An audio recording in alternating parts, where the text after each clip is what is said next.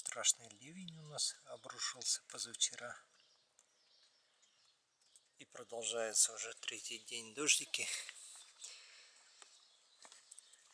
Очень неблагоприятно. Ягода начинает краснеть. Черешня будет водянистая. Сейчас самая, самая набирает, конечно, сок. А, Картошка окученная. Вот персик. Вот так вот персик что-то. Не знаю, что из него получится. Смотри какой. Как настоящий. Вишня обещает порадовать. Хотя я вот не поливал ее в этом году. Саженец инжира-то кидал почки. А я уже звонил этому черту, который продал мне саженец. Говорю, ни черта у тебя. Подожди, подожди. Вот, может быть, приживется. На ночь будем, на зиму будем закутывать. Слива пирамидальная.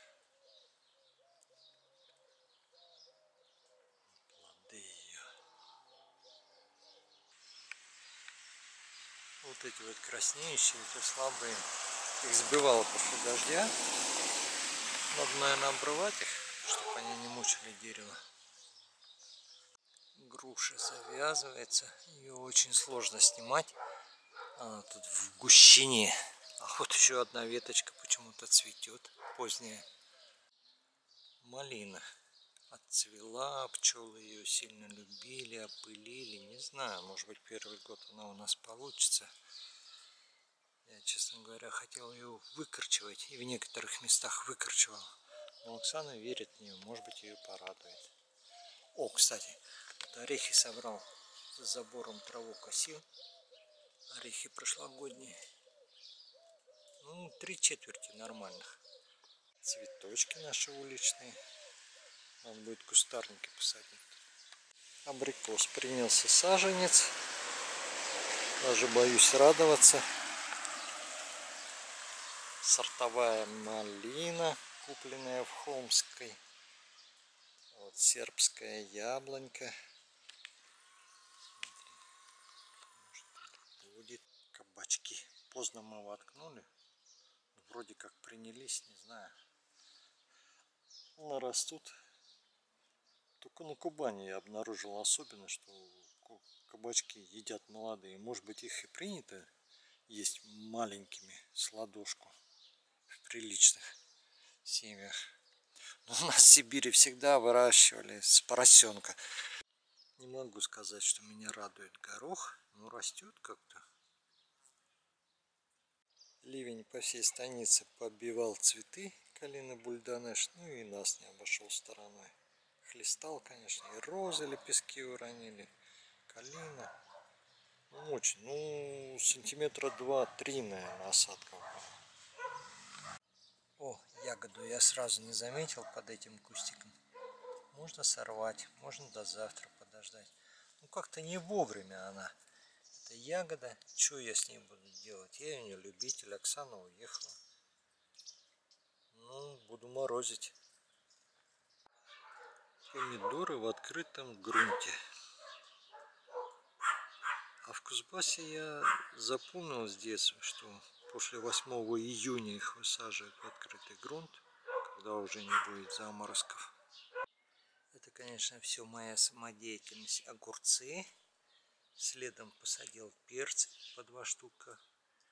По два штука в лунку. Следом помидоры. Ну, соседство не самое лучшее, как я понимаю, с огурцами. Эти все посленовые. Ну, места нету. Я придумал зато накидушку. Вот солнце выйдет, я буду закрывать от солнца. И от туманов. От туманов утренних, которые губят, конечно, все эти помидоры. Всякие болезни приносят.